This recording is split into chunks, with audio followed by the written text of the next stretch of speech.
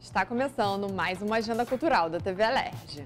Abrimos essa edição com o Breaking Olímpico Brasil, um encontro gratuito que vai reunir B-Boys e B-Girls neste sábado. O Breaking é uma atividade que une arte e esporte pela primeira vez na história está em uma edição das Olimpíadas. Olá pessoal, Lúcio Pedra na área, sou aqui o treinador do núcleo de treinamento aqui na Glória e estamos dando início a essa jornada de break social para capacitar, dar o melhor possível os b-boys e as big que vem treinando aqui com a gente, com foco para que eles possam realmente se destacar no cenário estadual, nacional e quem sabe no internacional.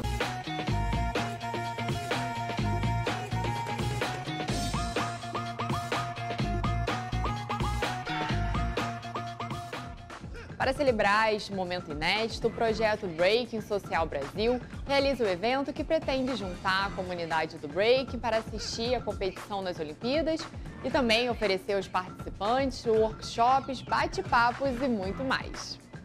O encontro acontece no dia 10 de agosto, a partir das 10 horas da manhã até as 8 horas da noite, no Centro de Movimento Débora Colker, na Glória.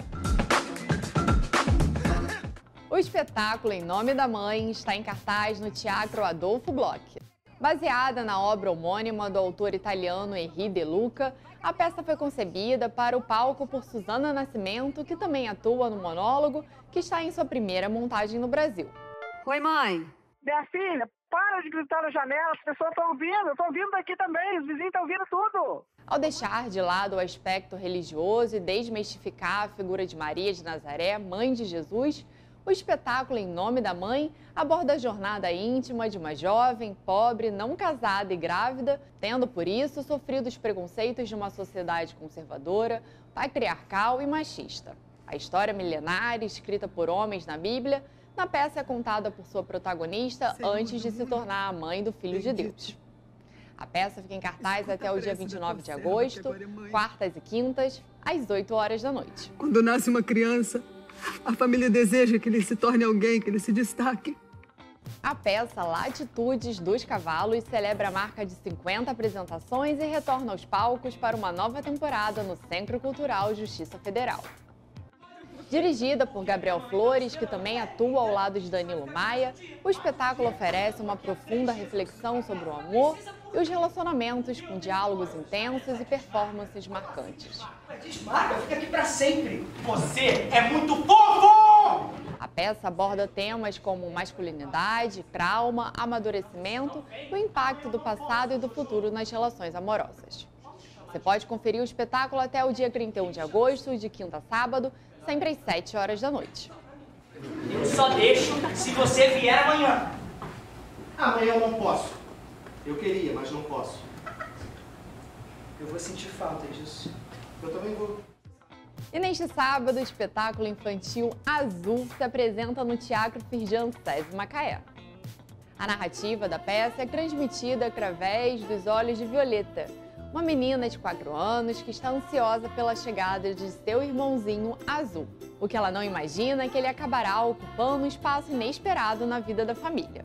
Entre os ciúmes e a aceitação de um irmão tão diferente com transtorno do espectro autista, Violeta descobre que é preciso aprender a lidar com o que a vida propõe para a solução natural dos conflitos.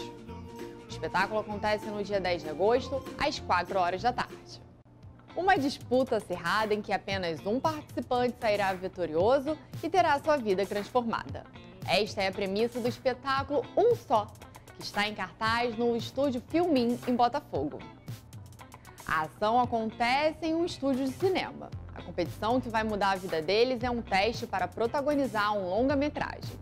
Como em um jogo, a sala de espera se transforma em um ringue, onde a concorrência entre os personagens pode ser perversa, dolorosa e crucial, bem como se tornar uma janela para a empatia, o sentimento de pertencimento e o autoconhecimento.